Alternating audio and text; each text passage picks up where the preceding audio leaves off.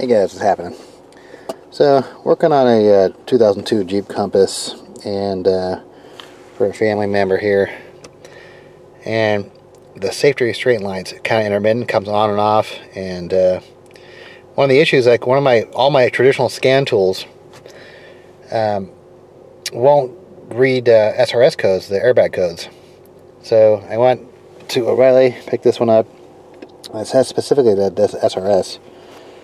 So I, I can figure that out. So with my other cars, like my uh, wife's car, I actually have the dealer tool, and then also for my Ford truck, I have the IDIS or the I, the both the, the Ford or the factory tools, software and stuff, so I can do more thorough diagnostics with those cars. But I don't have anything for Mopar, so um, actually I even tried to look online to see if I could get like a like a crack or whatever, but. Um, Okay, well, let's take a look at this thing. Hopefully I can, uh, it does what it, it, well, it does what it says it can do. I mean, it's 105 bucks, probably 112 out the door. So just looks like this ABS, live stream data, so that's pretty cool. I mean, it's tire pressure. Okay, well, I mean, if you can really do SRS codes, that would be helpful because the thing is, I don't know what's going on with this thing. Like, with these modern cars, they have uh, crash sensors all around the cars, and um, you know, it's also integrated in your seat belts and like on your under seat thing. So if one of these sensors is going out, it can you don't you don't know. I mean, I've already cleaned all the connectors and all the sensors, and so I don't, I don't know. So um, yeah, something's telling the computer that there's something wrong here, and I don't know what it is. So. Oh yeah, I forgot that I had to tell you. I actually I use torque a lot on my, my Ford truck just as like extra gauges.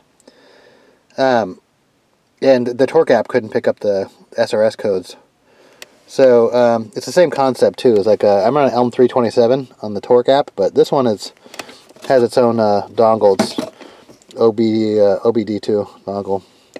So it looks like I'm gonna have to just obviously go to an app store and download an app. And all right, we'll see if this thing can do what it says it can do. I grabbed my kid's tablet um, so it'd be a bigger screen. So Repair Solutions 2. What's interesting too is they're right down the street from me. They're not very far away from me. They're in Irvine install that. Hope you can see that in the camera. And then I'll go through the install process like that. And then I'll come back once we're down ready to start scanning tools or scanning uh, codes. You can see that. The glare kind of sucks. So I have it plugged into the adapter. Turn on Bluetooth. Continue.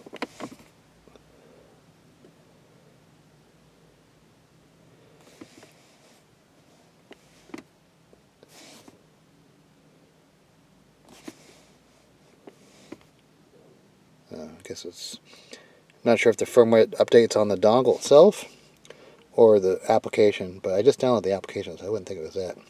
Okay, the fact that it's saying updating bootloader, that means it's obviously running some sort of ARM processor on the dongle. Um, yeah, there's just so many things. I mean, if you see my other videos, I, I work with a lot with Linux, system on chip Linux, firewalls, cameras. Uh, I work in IT, and I, I mean, I, I build Linux-based servers all day long. Um, all right, so let's see this. So bootloader means makes makes me think ARM processor. All right, well, I won't go into too many technical details, but the bootloader is kind of like a computer BIOS and tells where to boot from. And now it's updating the firmware, which is actually the application that runs on the ARM processor. Yeah, I'm actually am becoming more of a fan of these uh, internet-based, these phone-based. Uh, I mean, I, I mean, I have tons of scan tools. I've been doing this for a long time, but um, I do actually kind of like these tablet phone-based ones because they can immediately go online and uh, you know get more detail about a code. So you don't have to you don't have to write down the code and go back over to your like your, your machine and like a computer and look it up. You can do it right from the tablet or device. Live stream data, that's cool. Yeah, that and it always updates itself too. So like with the latest codes and cars, you know, with a lot of these devices, when you buy them, those codes are factory flash in there, and there's no way you can update the device. So, I mean, if you have a 10-year-old tool, has 10-year-old codes. I mean, I do actually like the fact that it does updates. That means, so in the future, if something changes, you can update the dongle. Alright, so firmware updated, rebooted. Kind of sucks it's a bad light, right in the sun. Okay, success, continue. Retail. No, okay. So hopefully this thing can communicate on the CAN bus. So the CAN bus is a sort of like a small network inside your car that connects all the modules. It's like you're going to have different modules in the car. You'll have your main, you know, the computer which runs your engine. Um, then you'll have like a transmission module, body security module, and there's a lot of different modules for different things. But they communicate via the CAN protocol. All right. So I know there's something wrong with the engine, so maybe I could do custom. Why are they wondering on that?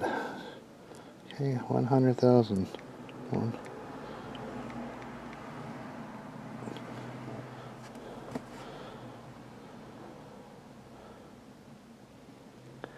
Well, what I want to do is I want to check the airbag.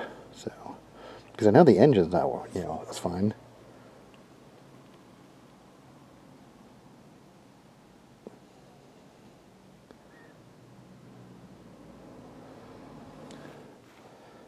I'm really hoping this SRS thing shows up. I don't know which one it is, but perform a custom scan.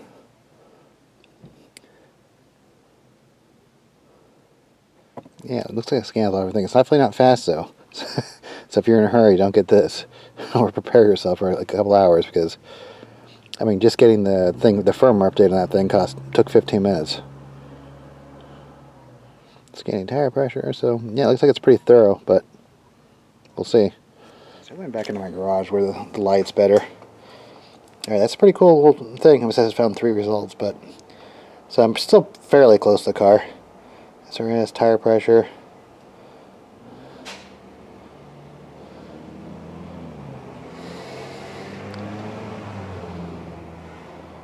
Okay, maintenance 12. I have that.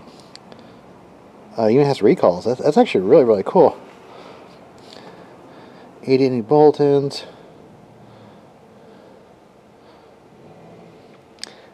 You know, this is definitely more advanced than, let's say, like torque. You know, obviously, you know, it's a $100 tool. Um, but, I mean, these things are, you know, these scan tools, like these tablets you buy, are thousands of dollars. Like the Autels and stuff. Alright, what was the three codes found? Let's see the result.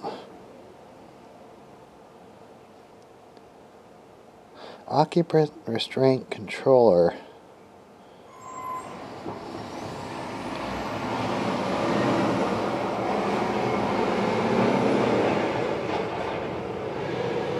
Driver airbag squib. So that tells me that's exactly what I wanted to see. Um,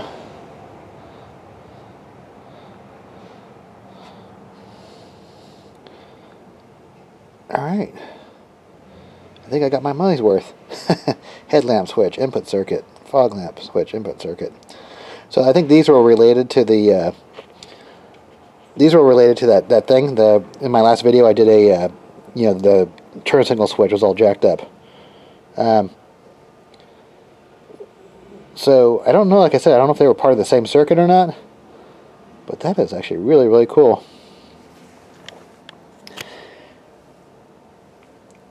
Well, I actually I really don't feel bad for I spending hundred dollars now um, on a tool I didn't know it was going to be good or not. So, but I am actually surprised.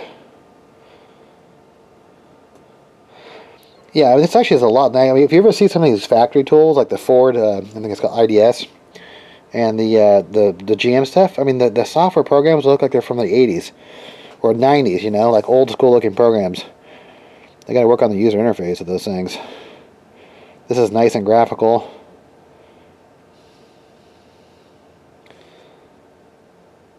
Alright, cool. So uh, I'm going to do some troubleshooting. I'm going to figure out what those codes actually really mean. I wonder if I can actually get more information on exactly what that means online.